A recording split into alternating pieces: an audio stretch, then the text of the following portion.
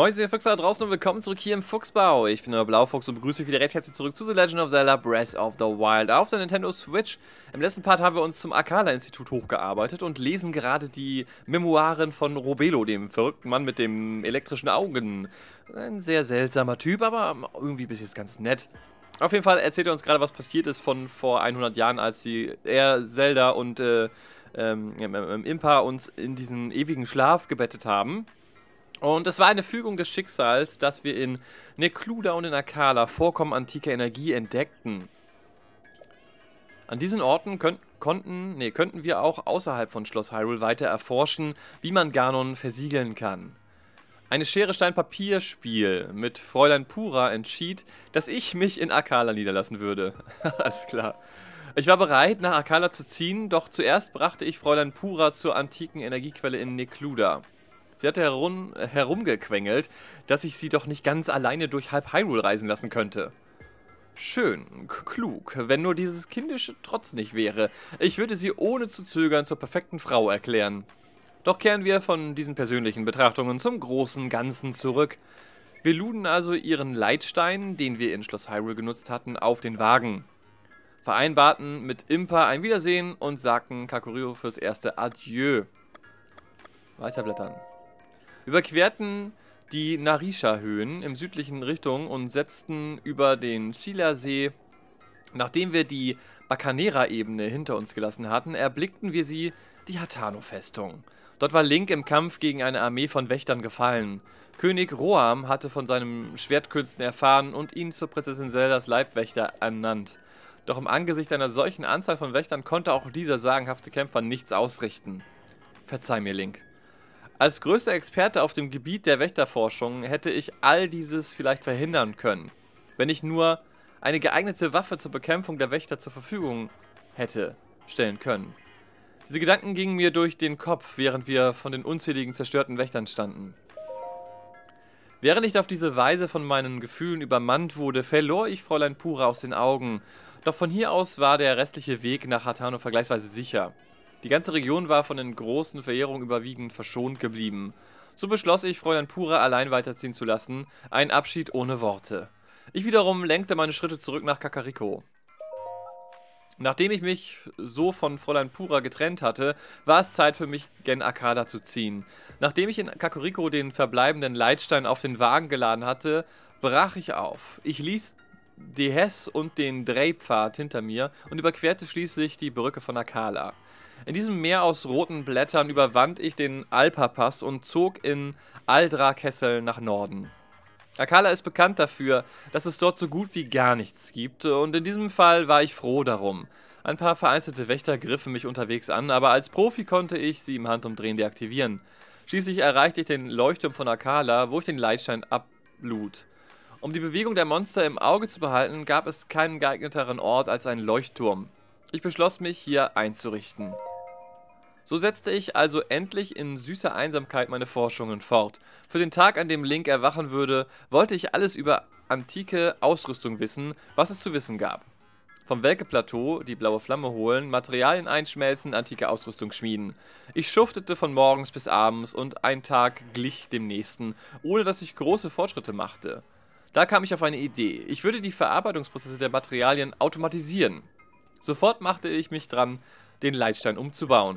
Wenn man antike Materialien hineingebe, würde er diese automatisch verarbeiten. Ich taufte die Maschine auf den Namen meiner ersten Liebe, Cherry. man würde Cherry antike Materialien überreichen und dafür antike Ausrüstung bekommen. Eine geniale Idee. Nach einigen Jahren harter Arbeit war aus dem Leitstein meine Cherry geworden. Doch auch nach diesem Triumph konnte ich schlecht meine Hände in den Schoß legen. Sie konnten nun Materialien verarbeiten, aber noch nicht direkt antike Ausrüstung daraus herstellen. Und äh, wo ich schon einmal dabei war, wäre es nicht schön, wenn Cherry sprechen könnte? Vielleicht war es der Wahnsinn der Abgeschiedenheit, der mich auf diese seltsame Idee brachte. Die automatische Fertigung von antiken Ausrüstungen stellte sich als ein so gut wie unlösbares Problem heraus. Ich verlor ganze Jahrzehnte mit der Arbeit an diesem Projekt. Meine Fehler sind zu zahlreich, um sie zu benennen. So musste ich die Verbesserung von Cherry Forest aufgeben. Eines Tages, ich war schon über 90 Jahre alt, stand eine junge Frau vor meiner Tür. Ihr Name war Jirin. Nachdem sie bei Fräulein Pura in die Lehre gegangen war, hatte Impa sie zu mir geschickt. Sie stellte sich als überaus fähige Assistentin heraus. Sie brachte zuverlässig die blaue Flamme vom Welkenplateau hierher, überarbeitete Cherrys Baupläne. Allein, dass sie ohne Begleitung von Kakuriko nach Akala gekommen war, bezeugte schon ihre Fertigkeiten. Wir wohnten lange dort zusammen und eines Tages nahm ich sie zur Frau. Durch Jerrys Hilfe lernte Cherry antike Ausrüstung herzustellen und zu sprechen. Sie überwand die Grenzen einer Maschine und führte bald intelligentere Konversationen als die meisten Hylianer. Wenn man sie mit einem Morgen grüßte, erwidert sie einen schönen guten Morgen, mein Herr und Meister. Fragte man sie, wo man ein bestimmtes Buch abgestellt hatte, konnte sie die genaue Position im Regal benennen. Bisweilen bat sie ganz höflich, könnt ihr bitte das Feuer der Feuerschale ein wenig anfachen, Herrn? Das hieß, ich musste jedes Mal die blaue Flamme vom Welkenplateau holen gehen. Aber natürlich tat ich das gern. Wer könnte nicht von Sherry ganz verzaubert sein, wenn sie mit solcher Liebenswürdigkeit sprach. Doch es gab jemanden, der sich mehr und mehr daran störte, und das war Jeren, meine Frau. Meine Unterhaltung mit Sherry beobachtete sie zunehmend mit Eifersucht. Es quälte sie, dass ihr Mann so freundschaftlich mit einer anderen Frau umging. Dass ihre Rivalin nur eine Maschine war, spielte dabei keine Rolle. Erst als sie mir mit Tränen in den Augen ihre Eifersucht zum Ausdruck brachte, verstand ich, was los war. Jeren hatte Cherry zum großen Teil selbst konstruiert, doch nun brachte ihre Kreatur ihr Kummer. Ich beschloss, Cherry die Worte, die ihr Jeren verliehen hatte, wieder zu nehmen. Sie sollte primitiv sprechen, wie zuvor. So löschte ich also den entsprechenden Teil des Speichers in Cherrys künstlichem Gehirn. Jedes Mal, wenn ich den Namen Cherry aussprach, trübte sich Jerens Laune. Folglich verbot ich mir ganz Cherry in den Mund zu nehmen und ersonnen die Bezeichnung Shika-Ofen. Kurze Zeit später brachte Jerin einen gesunden Jungen zur Welt, der sehr nach seiner Mutter kam. Wir nannten ihn Gratian und lebten zu dritt, unserer Maschine nicht mitgezählt, hier im, im Akala-Institut, inmitten des brüchigen Friedens, den Prinzessin Zelda uns mit ihrem Kampf gegen die Verheerung erkauft hatte. Als Gratian an die drei Jahre alt war, erreichte uns unerwartet ein Brief von Fräulein Pura. Sie teilte mir mit, dass sie einen Weg gefunden habe, das Stasis-Modul und auch die übrigen Module zu verbessern. Seit unserem Abschied an der Hateno-Festung hatte ich sie nicht mehr gesehen. Jahrzehnte waren vergangen. Ich erinnerte mich daran, dass sie in ihrem letzten Brief von einem Assistenten berichtet hatte. Dieser war aus Kakuriko zu ihr geschickt worden, doch sie bezeichnete ihn als absolut nutzlos. okay. Auch ich hatte keine Zeit, ihr äh, in Frieden vor mich hinzuleben. Ich musste die Erforschung antiker Ausrüstung vorantreiben. Gratian schloss wie ein, schoss wie ein Pilz in die Höhe, bis er schließlich ein stattlicher Bursche war, der mich überragte. Beim Tragen der blauen Flamme vom Welkenplateau zum Institut stellte er sich überaus geschickt an. So schlug ich ihm vor, er solle auf eine Reise durch das ganze Land gehen, um seine Fähigkeiten weiter auszubilden. Gratian war immer sehr eigenständig gewesen, dennoch war ich erstaunt, als er noch am selben Tag aufbrach. Einige Tage zuvor hatte ich bei Fräulein Pura angefragt, ob ich ihn nicht Gratian als Lehrling zu ihr senden könnte. Zurück kam ein Brief, in dem nur ein Satz stand, schick niemanden hierher. Ich frag mich, was sie wohl zu dieser Antwort veranlasst hatte. Ich habe so eine Ahnung. Oh, das war's. Wir sind durch. Berichtet nutzlos ab bla bla bla bla bla. Das war's.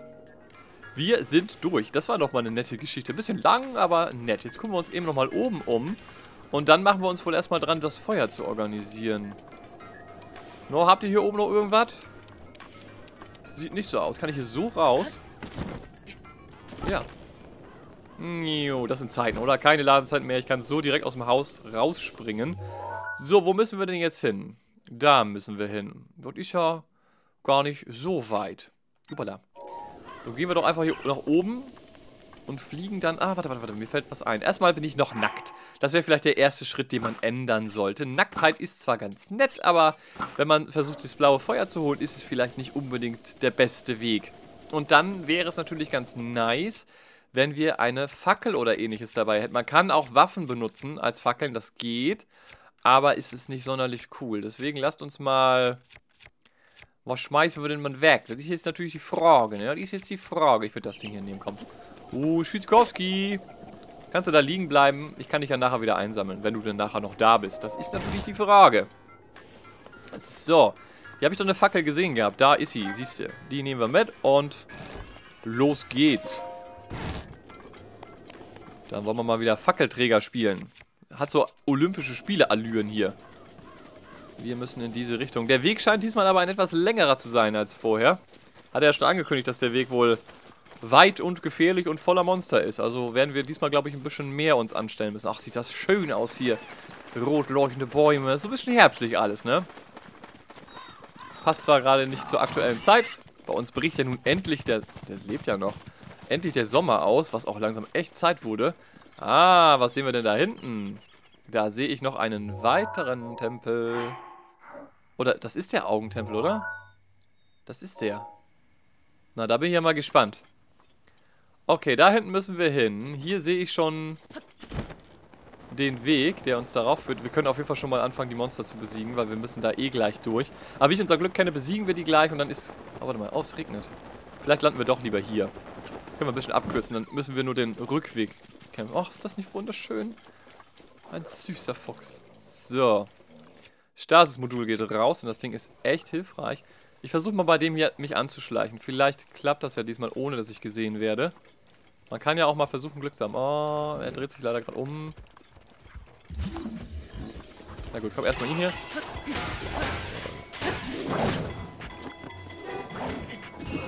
Müsste denn immer so aggro sein, Leute?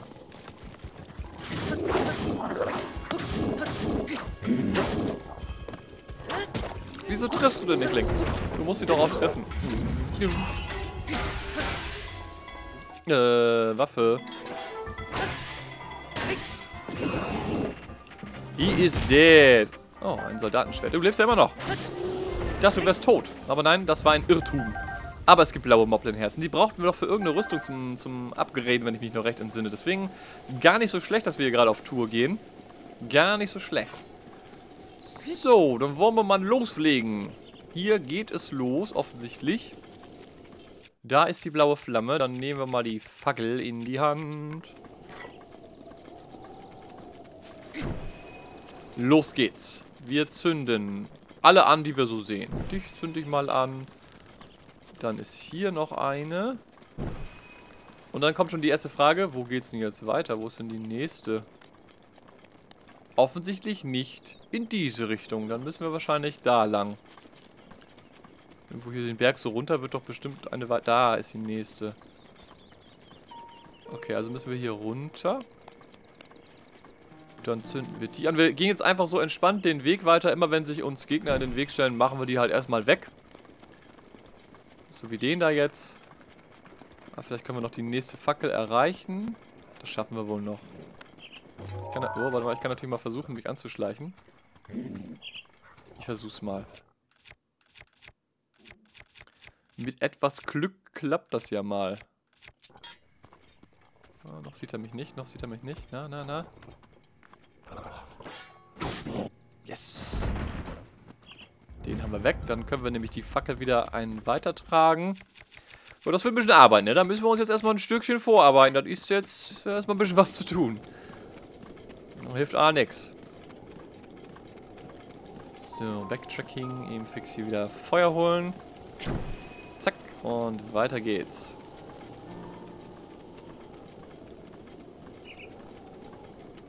können wir jetzt gleich eigentlich erstmal das ganze Lager da unten ausräumen. Da wird, glaube ich, ein bisschen was zu tun sein. Das sieht nämlich nicht gerade klein aus. So. Zwischenstopp. Wir müssen nur aufpassen, dass ich nicht auch so in die Fackel kaputt haue, ne? Das sehe ich ja auch schon kommen. Hups, nicht aufgepasst. Zack, Fackel im Arsch. So, der Wind steht günstig. Wir könnten versuchen, uns hier auch nochmal anzuschleichen. Denn der Wind steht gerade wirklich... Oh, scheiße. Tu das denn Not?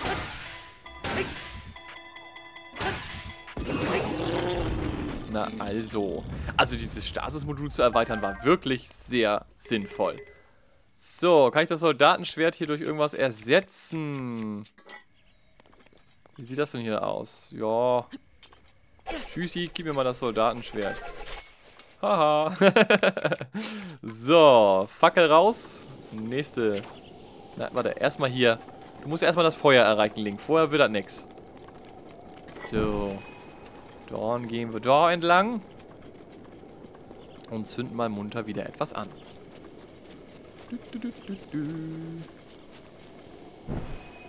Okay. Brennt die Scheiße. Weiter geht's. Wo müssen wir denn als nächstes hin? Da sehe ich schon wieder ein. Hallo? Entspann dich erstmal. Oh nein, nicht die Fackel. Ah, was mache ich denn da? Wie ich schon gesagt habe, ich sollte nicht die Fackel kaputt machen. Und was mache ich? Mach die Fackel kaputt. Wieder nicht aufpasse hier. Ah! Rechtzeitig weggehauen. So, okay. Was ist hier denn noch so? Wenn wir sowieso schon mal hier sind, können wir uns auch mal ein bisschen umgucken. Ne? Wir haben es ja nicht eilig. So ist es ja nicht. Das Spiel ist so groß, das wird eh noch auf Ewiglichkeiten dauern. Da brauchen wir uns gar keinen, keinen Hackmack-Stress machen. Bringt doch AL eh nichts. Zack, wie sieht's hier aus? Holzpfeile. Ich hätte es nur schon... Oh, damit habe ich jetzt nicht gerechnet. Ich hätte schon gern noch geschafft, dass wir vielleicht äh, diese Aufnahmesession noch den das Master-Schwert bekommen. Das wäre schon ein schönes Gefühl noch für mich. Oh, guck mal hier. Ich sehe drei auf einmal. Das bedeutet, ich muss eine Bombe reinwerfen.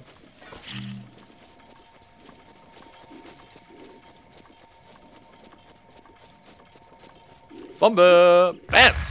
Na, wie geht euch das? Au, wie schnell der war. Ich habe ja mit viel, aua, mit viel gerechnet. Aber nicht, dass er so schnell dabei ist. Mushin Großschwert. So, warte. Äh.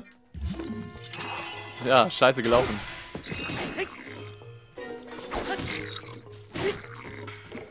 Du kleiner Dödel, ey. So. Oh, ich darf noch nicht. Ich. Aua. Ach, das habe ich selbst. Habe ich verdient. So, nu aber. Ihr seid schon fies, so. Ihr seid schon ein fieser Haufen. Oh, kommst du denn her? Ups, so. Ja gut. Man, man, muss, man muss die Kiste nicht öffnen. Man kann die Holzkiste auch einfach mit dem Schwert zerknallen. Ne? Das ist auch möglich. Ist jetzt nicht der gängige Weg. Knochenbockstock. Oh, der macht aber ordentlich Damage. Knochenbockschild. Ja, gar nicht mal so schlecht. Gar nicht mal so schlecht, der Stock. So, aber bevor wir den Knochenbockstock erstmal die Fackel. Ist übrigens auch nicht so schlimm, wenn die Fackel doch mal kaputt geht. Ähm, man kann auch Waffen als Fackel verwenden, indem wir einfach eine Waffe, die irgendwie feuerempfindlich ist, also die man anzünden kann, dann verwendet. Das geht also auch. Aber ich versuche es möglichst mit der Fackel zu schaffen. Denn das ist nun mal ihre Bestimmung. So. Doch, haben wir die... Wie weit ist das denn noch? Ich weiß gar nicht, wo das Institut ist. Ich folge einfach nur den Fackeln. Oh, wird schon passen. Einfach entspannt bleiben. So, wo müssen wir denn jetzt weiter? Wahrscheinlich hier unten lang, hä? Da sehe ich Wölfe. Was ist denn die nächste Fackel? Da hinten. Ich versuche, ich versuche es zu erreichen. Ohne dass sie mich angreifen. Lass mich mal in Ruhe. Ich möchte gerade nur die nächste Fackel. Ja, ja, ja, ja. Bam. So, warte. Jetzt äh, wechseln wir auf eine... Den Knochenbockstock. Au. Mann, Mann, Mann. Ihr seid aber auch fiese Möbbe. Die. Läuft doch. So, soweit so gut. Was mit euch? Fangt ihr euch noch? Nee, ne? Ihr rennt hier weiter rum, bis ihr irgendwann mal auf die Idee kommt, mich anzugreifen. Oder ich einen von euch wegmache. Na, scheiße. Komm schon, irgendeiner von euch muss jetzt sterben. Ah! Na also. Damit fallen die anderen wie ein Kartenhaus. Okay, da unten ist der nächste.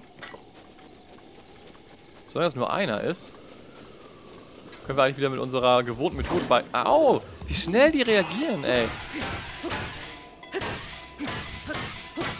Müsste reichen, oder? Yep. Die already. Wo ist denn die nächste Fackel? Da vorne. Ist da noch wer? Nö. Das heißt, dann können wir ja loslegen. Wo brennt es denn gerade? Da hinten brennt das. Oh, es regnet. Das ist natürlich schlecht. Ich hoffe, die Fackeln bleiben trotzdem an. Und brennt dieser Stab? Schade. Tut er nicht. Oh, es gewittert. Auch noch das. Sag bloß, es geht jetzt nicht. Nein. So ein Mist. Es geht nicht, weil es regnet.